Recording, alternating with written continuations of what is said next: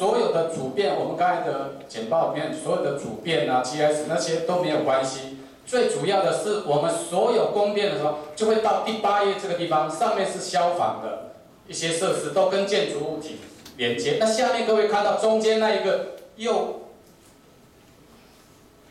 右右下方是一个控制室，那个就是所有电力的电线全部都会到那个地方去哈。所以，如果各位委员说这个要是历史建物还是古迹，那我们当然会想办法啊，我们也会尊重委员的专业。但是我们可能是不是可以给我们一点时间？如果要列为古迹，我就要在旁边再盖一栋控制室，我要把所有的供电的这个所有这些，我要在那边再做一套，不然我势必将来万一有地震或是一些我需要在紧急处理的时候，那我又要依照我们这个古迹修复及再利用办法这样的哦，要编列计划来，又请专业的人士。来修复的话，这可能缓不济急，所以我想说，各位员哦，长官，你们是不是在审慎的评估？就是说，我们我们当然一定会维护这一栋大楼，哦，一定，因为我们供电可靠，就就是要把这栋大楼维护好，我们尽量不会去破坏它。但是如果要依照古迹或是历史建筑这种修复及再利用办法的话，对我们是有一些困难的。好，我以上补充，谢谢。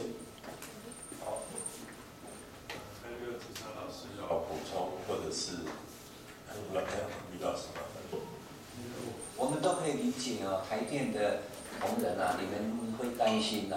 但事实上，那个文化资产保存法并没有那么死板啊。对于产业建筑工厂，其实与日俱进更新里面的设备，这是常有的啦。你说像照明啊，或者水电，这个也古时候的建筑也没有啊。所以我觉得你应该可以放心，他们不会呃很死板的哈，说你整栋。要要一原原貌啊，要这个不能够去改变，没有那么严重了。那你屋顶上加太阳能板，你室内有些隔间做一些变动，你有一些设备做一些更新，我想这个不违反文化资产保存法，应该是你可以放心。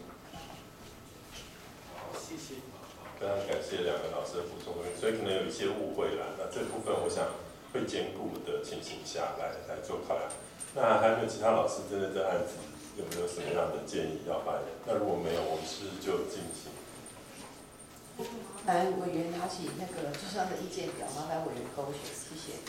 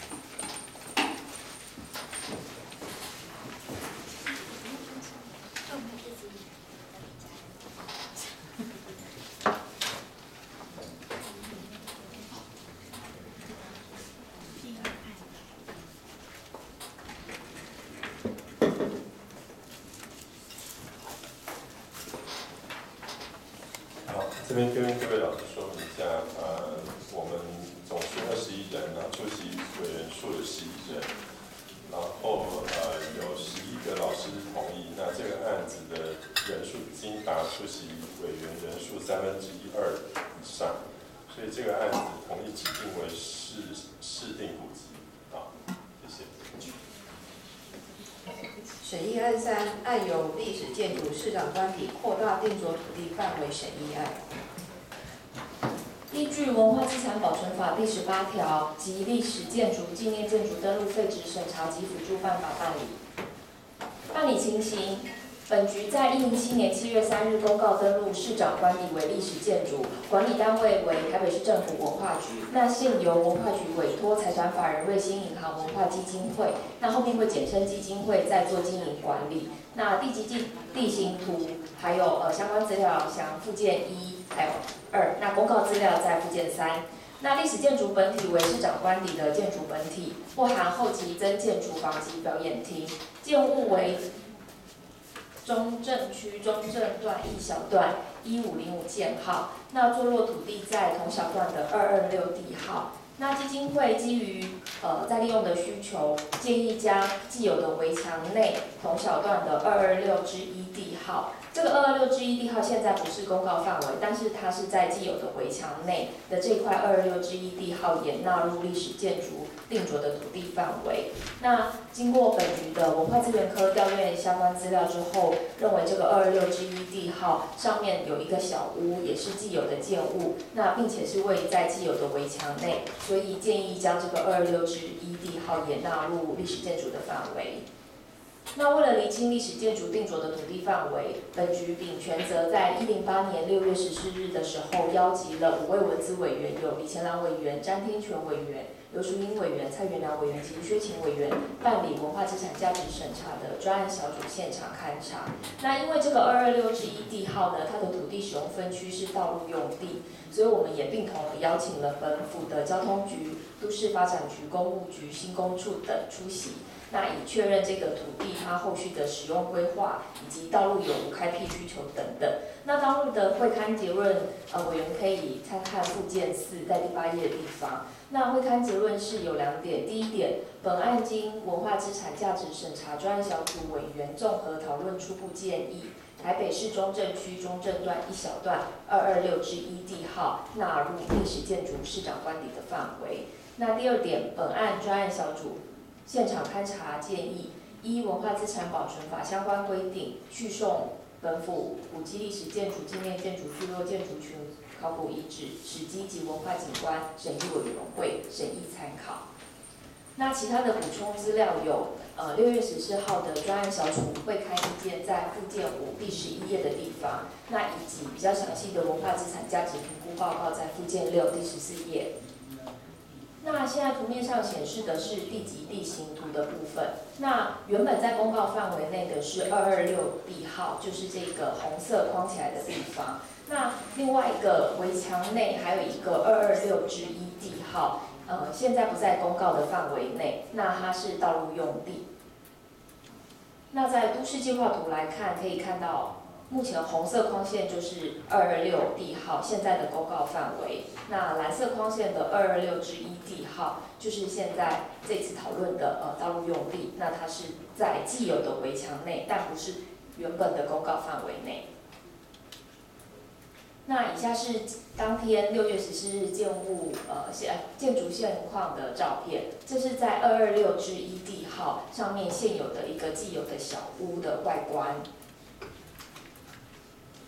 那以及建物现况的内部一些隔间的状况。那文化资产价值评估报告的详细资料，委员可以参看呃资料。那在价值分析部分，本局在一零八年六月十四日邀集了文资委员办理这个专案小组的现场勘查。那结论是初步建议二二六至一地号纳入历史建筑市长官邸的范围。那当日出席的委员都是建议纳入二二六之一地号。相关单位的意见有两个单位，第一个单位是本府公务局新建工程处，也就是这个二二六之一地号的全管单位。那呃，他们建议呢是，呃，他们有先说明一下，目前这个新工处他们尚无编列预算去办理这个道路的开辟计划。那第二点。在现在这个二二六之一地号上面有一个小屋是位于计划道路上。那如果说后续确认这个既有的建物要纳入历史建筑范围的话，新工处会建议，呃，这个都市计划道路去废除，那后续由文资单位维管以服管用合一。那第二个单位是呃交通局，那他们提供的意见如下。那二二六之一地号呢，有助于未来路往南北向的串联，并可作为周边基地停车场出入呃的使用，那以降低道路的影响。那第二点，倘取消这个道路计呃计划道路的话，会导致这个计划道路南侧形成囊底路的设计。那建议后续应并同检讨车辆回转空间的需求。那第三点是建议这个二二六之一地号维持道路使用。呃，在呃文化资产价值评估报告的管理维护方面呢，建议是由呃本府文化局还有这个现在使用单位基金会，还有二二六之一地号的新建工程处在审议会中向委员说明。那在登录范围的影响评估部分，二二六之一地号现在是道路用地，那是本府新工处在全管。那现况二二六及二二六之一地号都是在这个呃现在委托基金会在管理的市长官邸艺文沙龙的管所围墙范围内。那如果历史建筑的定着土地范围扩大的话，对现行使用没有影响。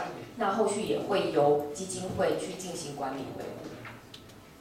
拟办一，拟请同意新增台北市中正区中正段一小段二二六至一地号纳入历史建筑市长官邸定着土地范围。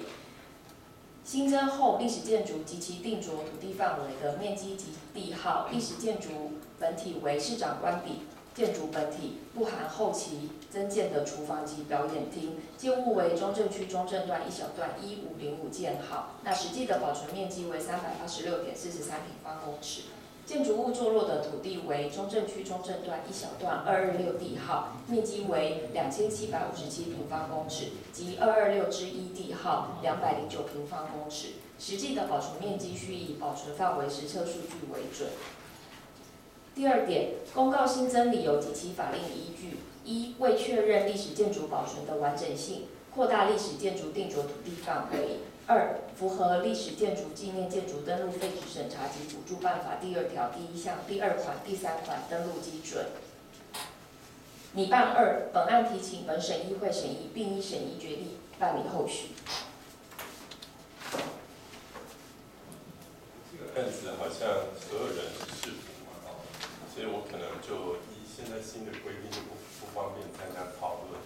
那是不是这部分是不是呃烦李老师跟来先生完成？啊，我坐在主席隔壁。好，好，我这个呃案子我也有到现场哈。简单的来讲，就是说呢，过去因为我们知道那里有一个计划巷道六米，叫做二二六之一啊。好，我想大家看这个图就很清楚了啊。原来是有一个计划道路的啊。那所以当年定这个历史建筑物的二六好就故意不包含它。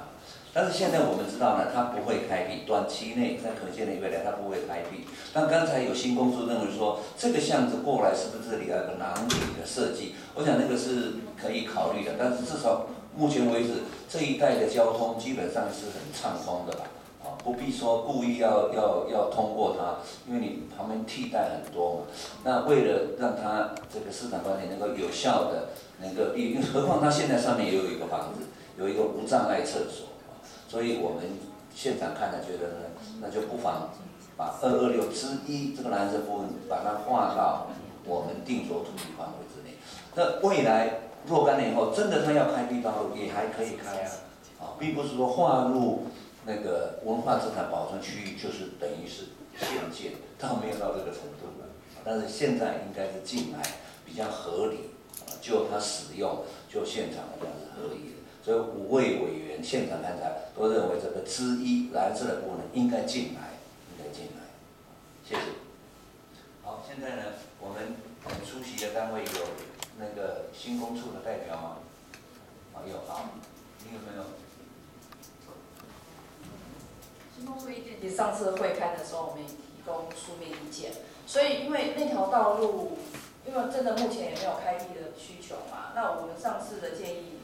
还是一样，就是为了管用合一的话，就是能够废止那条计划道路，可以变更为文化，就是文化局这边委管的的地目。报告完毕。好，谢谢。还有没有其他的那请问多？发局有没有意见？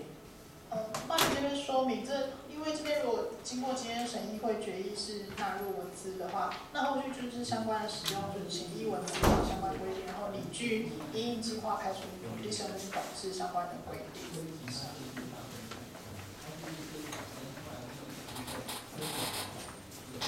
他要补充好，来，呃，交通局想请教一下，就是说刚刚我谈到，如果现在纳进去定的范围内，那以后如果开辟道路还是可以开，哦，不晓得到时候如果假设有开辟道路需求的时候，会需要哪些程序吗？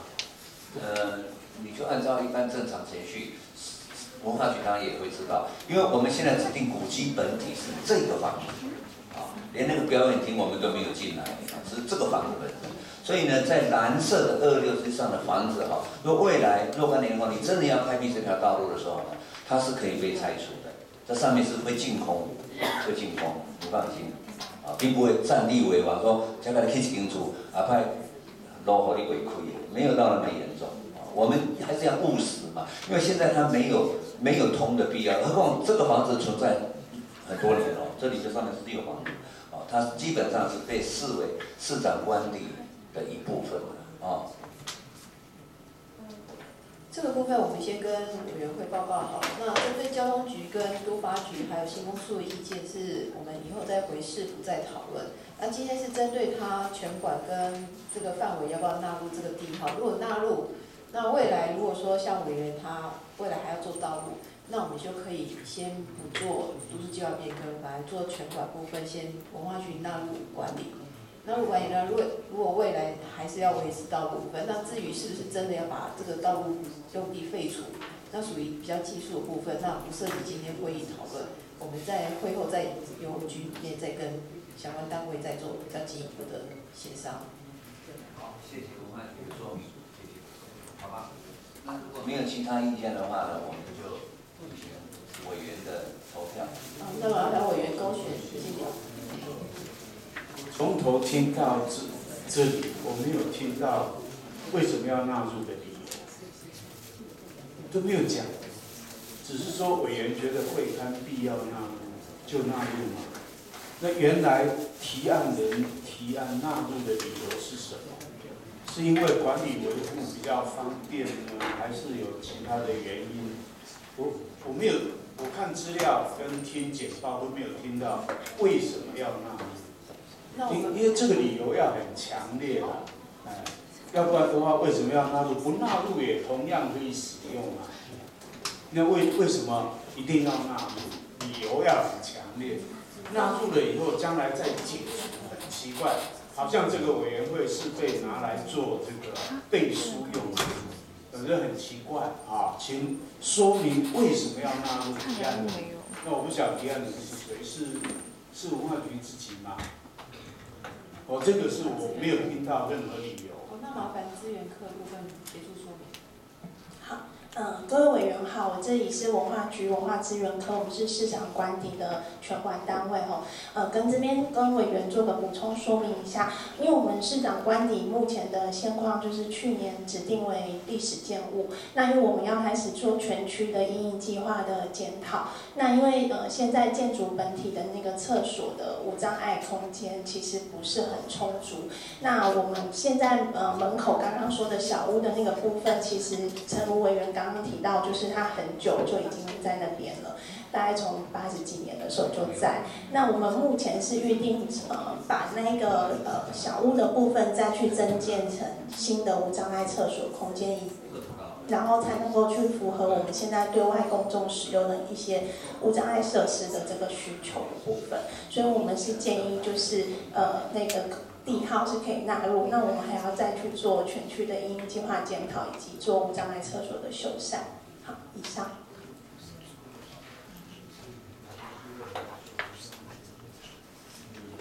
可以吗？来。呃，主席，我帮帮忙讲一点话。那个，因为我刚刚其实我的问题其实跟刘老师的问题其实一样，所以我我查了一下那个旧的那个地籍资料，目前那个呃。日本时代的那个范围，原来就是这个范围啊，就是有包括二二六之一，所以呃，它被纳入来的一个理由，其实呃，就如同它的现况一样，其实它原来的界限就在这个地方。那这边原来是没有道路的，不过因为我们没有提供那个道路是什么时候被放进来的，所以我我觉得我们今天的讨论，也许可以就是基于那个原来的那个官邸的范围，然后同意它以原有的范围来登录，那其中就包括二二六之一。好，大概补充这一点资讯。各位参考。还有没有其他意见？因为事实上呢，日日治时期这个地方的都市计划哦，它原来是大街国啦，一般都是学校，成功中学啊、北商啊，它原来是大街国。后来呢，他们就有一些街国呢，希望能够再有一些巷子分割，让它成为一个住宅区。所以现在变成了这个街沟的街沟的距离就会很短啊。你你从这里开车子过来，你可能会碰到好几个路口。那这个呢，都是我们后来后来我们自己把它这个增加。原来它的结构是这样的一个结构，当时它的它的细化精神。那你这个细的多了之后，就变成住宅区了，好吧？既然原来它是没有，原来就没有。那刚才大家的讨论，如果没有意见的话，就走掉了一个案子没有说任何理由，只是说委员同意，这是很奇怪。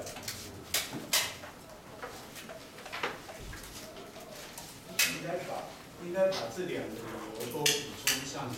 第一个是恢复原来都市计划的样貌，然后第二个实际上有需求，那这个需求是为什么？应该把这两点都写上去，要不然就很奇怪了，从头到尾报告没有提到任何。原因，所以只是要为改变而改变，这个委员会就很奇怪。